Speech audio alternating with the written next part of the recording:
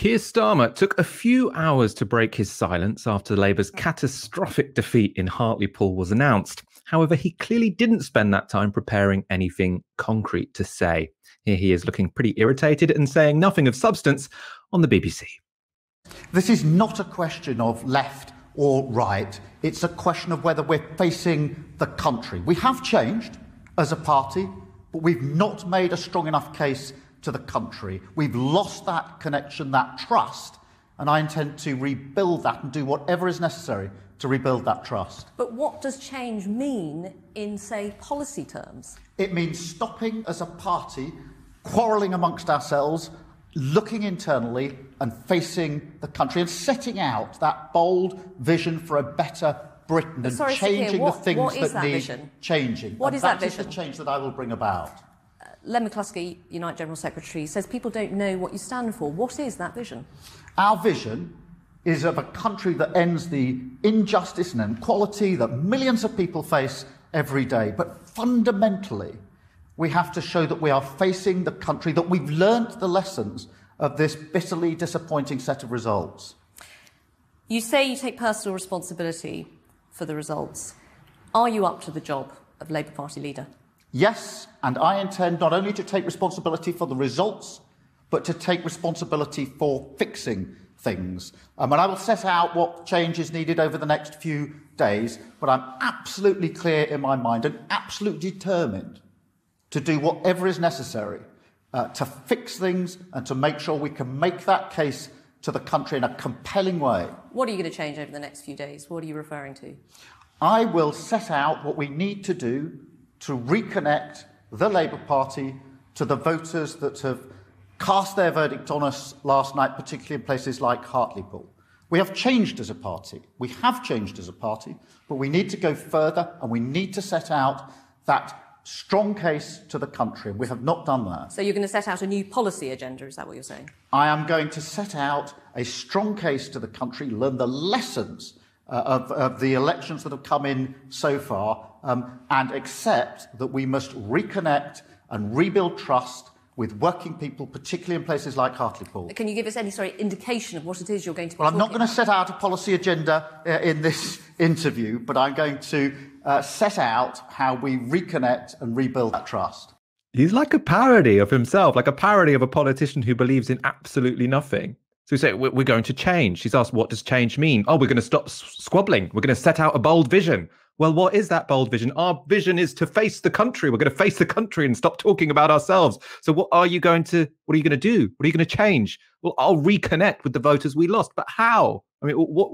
What? How are you going to appeal to them? I'll look outwards instead of looking inwards, twirling, twirling all the time. I mean, it's it's embarrassing. She says, "Well, do you have any policies?" Well, I'm not going to. Going to tell you my policies on the television. Why would I tell you my policies here on the television? That would be a ridiculous thing to do. I mean, Aaron, that was almost like awkward to watch, wasn't it? Well, did you watch the end of it? I mean, we don't have the end of the clip, but basically, she's kind of like, "We're obviously not going anywhere." She, you know, she audibly says this, and she's just like, "She just finished there?" And he's like, "Yeah, yeah, yeah." I mean, she's just like, "This guy's a clown." And the BBC, a, they they they are quite deferential to politicians. Even with Jeremy Corbyn, you wouldn't hear that on air, really. And it's it's a it's a knight of the realm. You know, they're meant to be like, "We are not worthy," and she's just like, "You're you're clearly an idiot." And also, where he, where, this was taking place, Michael, Keir Starmer and by the way, being a human rights lawyer, perfectly fine thing. Living in London, perfectly fine thing. But th- these are the sort of political cliches. Keir Starmer, Remainer, Sir, establishment, London human rights lawyer, lives in Zone One, completely out of touch with the rest of the country. Where does he do the interview? In the House of Parliament. What's behind him? Some some some parliamentary, you know, uh, some folios of various parliamentary nonsense and you know data and whatnot. What, where, where's Boris Johnson? Boris Johnson is in Hartlepool next to a ship, hundreds of years old, talking to people, thumbs up, face mask on. Who's more relatable, Michael? Keir Starmer has no policy, no idea, no organizational competence. And, and worst of all, I think, actually, in, in, particularly, in a, we, we do live in an era of populism. I'm sorry for the hashtag FBPE crowd who don't want to admit that, but we are. He is so unlikable. I've said this repeatedly. Nobody watches that guy and thinks, you know what, I'm really rooting for him. And people might not, some people might not like Corbyn. A lot of people had that feeling with Jeremy Corbyn. I'm really rooting for him. Yeah, go on. At least he knows what he believes in. Nobody can say this about Keir Starmer. He's a non-entity who is who is so dislikable immediately. And I think the fact that he was doing that interview in what was, you know, the aesthetics of it were just so politically distant from what was happening in Hartlepool, that that dissonance between Boris Johnson and Keir Starmer embodied so much for me. And it just shows actually, Keir Starmer, the grown-ups are back in charge. Well, you know what? A media professional wouldn't be doing that interview there. So not only is Keir Starmer not good enough, but nor are the people around him. He's been Labour leader for a year, and presumably he wanted to be Labour leader for a while before he stood to be Labour leader. We know it was a very well prepared leadership campaign. Yet, anytime he, or indeed anyone else in the party, is asked, What's your vision? Very basic question, actually, for a politician. It's not, it's not a question really intended to catch people out, or it shouldn't be. He looks terrified. Our vision is to look out to the country. Our vision is to change the party. I mean, that's these are these are like subheadings these like subheadings of a strategy you could have but they still haven't filled in the box you know it's uh, to be in that job for over a year and not have anything to say to that question i just find it you know difficult to fathom it just seems it, it just seems like gross negligence gross incompetence from people who are presumably on quite good salaries. I mean, I suppose maybe you can't come up with a vision if you don't believe in anything. I, I, suppose that's probably the, the easiest explanation for what's going on here. They're asking Starmer, what do you believe in? He says, I believe in having values. I believe in believing things. I believe in uh, showing the party that I, showing the country that I believe in something. It's like, well, what do you believe? It's like, I'm not telling you that. I'm not, not giving that away people with values if you have values it's about being honest. How, how do i know you're honest? It's because you act with honesty you know or or or you're generous. You, you, you there are actions that you express which are they distill the, the idea of you know generosity. Keir Starmer's like i have values. I am electable. And you see this nonsense coming out by the way from steve reed west street and all sorts of people.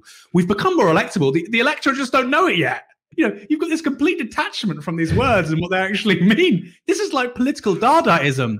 This is like if Pablo Picasso was trying to create a politician. You know, it's like the Guernica, one horse's head going this way and that going this way, and the whole thing's just a complete mess. You know, it's it's, it's non-representational. None of it's actually meant to make any sense. It's not meant to look like the real world. That's what Keir Starmer interviews increasingly look like. You, you mentioned um, Boris Johnson choosing a, a, better spot for his um, you know, national broadcast than Keir Starmer. We do have that um, for you. So let's take a look. This is Boris Johnson in Hartlepool with the town's new Tory MP, Jill Mortimer uh, a massive thank you uh, to, first of all, to the people of Hartlepool for placing their confidence in uh, us, in the Conservatives. I want to congratulate Jill on a fantastic campaign. I think that she's uh, been a wonderful candidate and fought uh, very, very hard for, for every vote. And I think she'll be a wonderful MP. And for me, what this means is that uh, I think that it's a it's a mandate for us to continue to to deliver uh, for not just for the people of Hartlepool, not just for the people of the of the northeast, but across the whole of the of the country. And I think if there's a lesson out of this whole election campaign, the whole election, local election campaign across the whole of the UK, uh, it's that the public want politicians to get on uh, with focusing on on their needs and their priorities. So coming through the pandemic uh, and making sure that we then build back better and we you can see some of the evidence of economic uh, confidence that uh, the Bank of England's been talking about, the, the prospect of a really strong uh, rebound in the second half of the year. I think people want us to focus on that.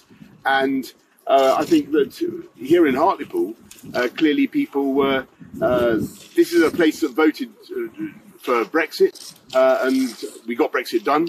And then we're able to do other things thanks to that as Aaron said, very importantly, he didn't do that speech from Parliament. He went to Hartlepool. He's doing it in front of like a historic ship. There's sort of some some narrative there. You can hear the seagulls. It just seems less miserable. Obviously, it's easier when you've won to do that TV interview than it is if you've lost. But nonetheless, the thing Boris Johnson didn't say is, ah, yes, the reason we won is because we're looking outwards. The reason we won is because we have values. The reason we won is because we have a vision. No, he actually he actually filled out the blanks. So he said people like it when when things are delivered, like we delivered Brexit, like we got people through the pandemic. Now we've got free ports in Hartlepool. I mean, free ports are a terrible idea, by the way, but at least you're you're naming something. You're saying something. There was some content there, and Keir Starmer has nothing in response to that. I mean, why would you vote for the guy who's telling you I have values? Than the person who's saying I've actually done these things. Not I've done things. I've done these things. It's concrete. It's real. You feel like the guy is not actually terrified when he's speaking to a camera. By the way, compare how Keir Starmer is received in the you know, Prime Minister's questions, which, by the way, nobody watches. Nobody watches Prime Minister's questions. Very interesting. Yep, you can land a blow. It might it, every six months it might get on the sort of news. Great, but on an everyday basis, granular detail. Nobody cares. Keir Starmer is there. People, the hashtags or the or the second referendum people. Fantastic. He this is forensic. People seem to think that he said things which mean Boris Johnson is going to go to prison. He's going to resign. I don't know. You know, this kind of strange. They think that politics is like a, tr- a true crime podcast um, or we're going to get some sort of Robert Mueller figure to arrest, you know, Boris Johnson, wheel him off to, you know, Pentonville prison. That's not going to happen, by the way. This is the reality. People haven't got huge asks from politicians. They want you to solve, they, you want them to solve problems, and they don't want you to create any new ones. That's it. And they saw Brexit as a problem. You might disagree with that, but they thought Britain being in the EU was a problem. Enough people had thought that was a problem. There was a referendum. It became a wedge issue. Boris Johnson appears again, we can have that conversation. Maybe there's going to be major implications going forward. But right now, it looks like the Tories have they've solved that problem.